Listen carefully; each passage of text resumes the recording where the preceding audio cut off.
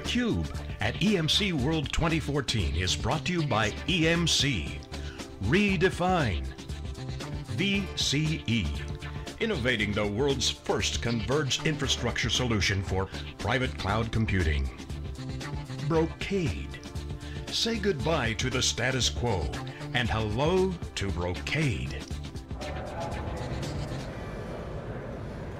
Welcome back everyone. We're here at EMC World 2014. We're at the Sands Convention Center in lovely Las Vegas in the back of the Palazzo Hotel. We've got a unique situation here. We've got actually two cubes uh, running here at EMC World. So this is where it all started about five years ago. As you know, we take the cube out, we go to the big events, we talk to the people you want to talk to, we extract the signal from the noise, and uh, we're excited to be back for year five at EMC World here in Las Vegas. And I'm here, I'm joined with my special guest host, Steve. Thank you, Jeff great to be back on the Cube. Very exciting to have two cubes running here today. So, uh, you know, a lot of stuff going on here at the show. We got a social media lounge going on. Have an alumni lounge this year. A lot of a lot of excitement, a lot of energy. We're at the keynotes this morning. So, uh, I'd like to introduce our, our first guest here. Um, this is Eric Pond from Green Greenheck. Green yes, Heck? Greenheck fan. So why don't you uh, help us set the stage a little bit and tell us a little bit about what is Greenheck, and then let's dive into the sure. technology a bit. Uh, we at Greenheck Fan, we're a, a, private manufacturing company located in the Midwest, uh, right in central Wisconsin area. That's where our corporate headquarters are. Um, we are the premier manufacturer of large air movement equipment. Um, so fans, ventilators, uh, different uh, dampers and louvers that you find in, in non-residential constructed buildings. So a lot of buildings like, like this, for, for example, these large convention centers, um, that's kind of our bread and butter. so um, we uh, uh, are number one or number two within each market segment that we uh, manufacture for. So in fans, uh, we're number one uh, player in there. Being a privately held company, um, we have a, a, lot of challenges with that and a lot of growth that we've had over the last couple of years um, that really affects IT. And, and my role at Greenheck is being in charge of the technical services, the infrastructure team and group there. So you guys national or, or uh, international? We are international. International. Um, we've got uh, facilities in Saltillo, Mexico, where we uh, manufacture for the Mexican market. We also have a facility in uh, China, right outside of Shanghai. Um, and we also just recently opened up a facility in India, um, right outside uh, Delhi. In all of our international locations for a manufacturer, one of the unique things we do is the products that we manufacture, like in China or in Mexico, they're not shipped back to the U.S. They're actually meant for the China market or for the Mexico market, and now this new India market. Excellent. So, Great. Can you give us a little sense of like how big your IT shop is and some of the challenges you're facing? You said you're growing, things are getting big. Right. You bet. Um, our IT shop is uh, fairly small when you look at the size of the company. We're uh, about a $600 million company.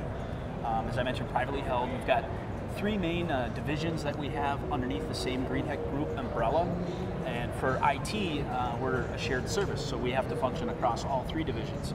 So um, like most places, instead of having one boss, we really have three bosses uh, that, that, have to dictate what IT spends money on. Don't we all? Um, right.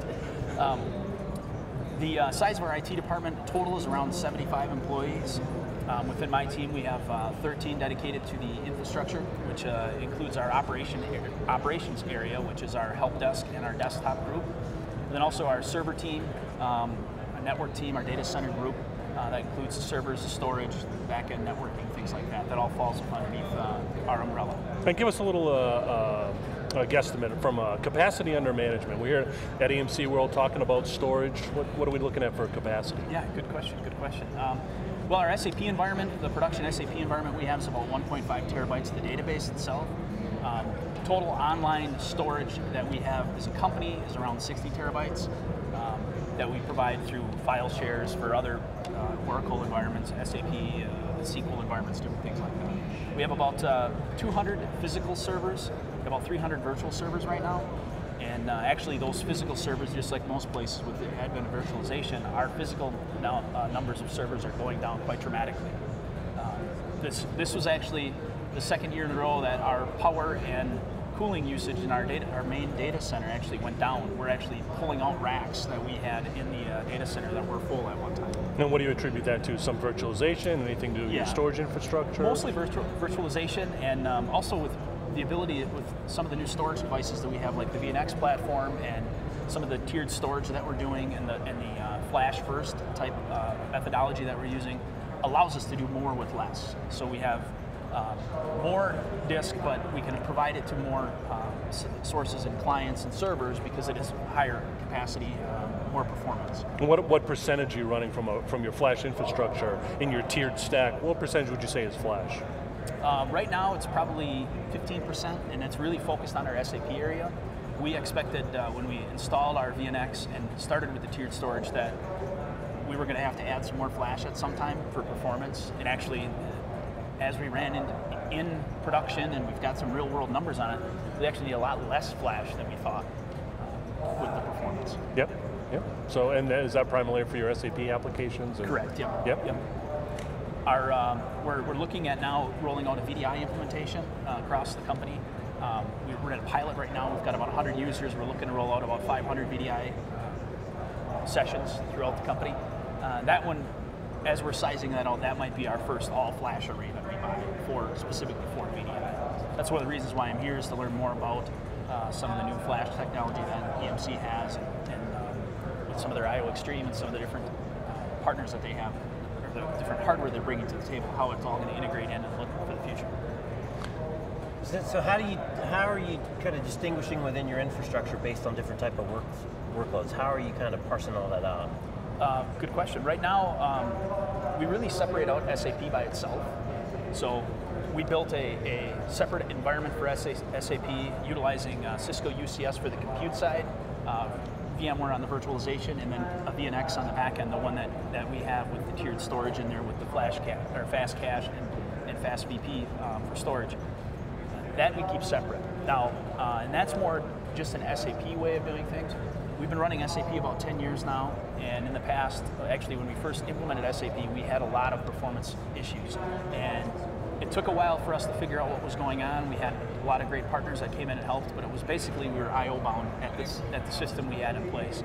Um, that was a non non EMC SAN. When we brought in SAP to come in and help us, they looked at our storage subsystem and how we had it set up, and right away they're like, "You guys should really look at EMC," and that's really what brought EMC into the door for us. So EMC came in, and because of the past history we have, it's more of a political thing at the company, honestly. We have a separate array just for SAP.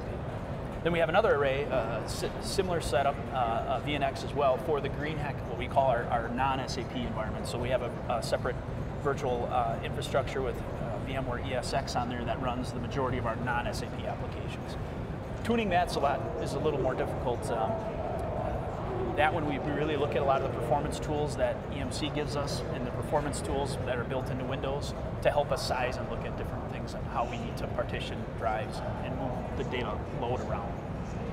So Jeff, you know, you brought, um, you know, you talk about separating the signal from the noise. I get really excited when I hear conversations like this because this is really industry practitioner stuff that you guys are doing every single day.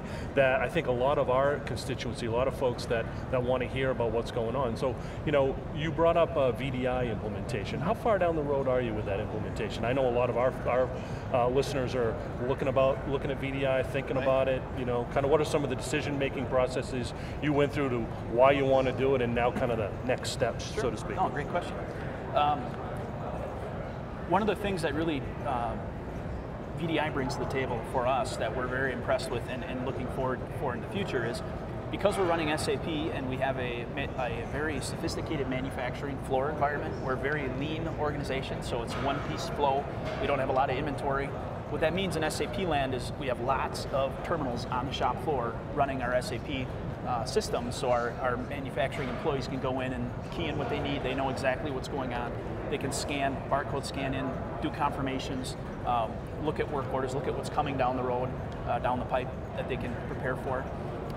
That said, we have about 500 shop floor terminals on our manufacturing in our Schofield facility and across our company. Um, we have about one and a half million square feet of manufacturing. So that those 500 PCs are all over the place.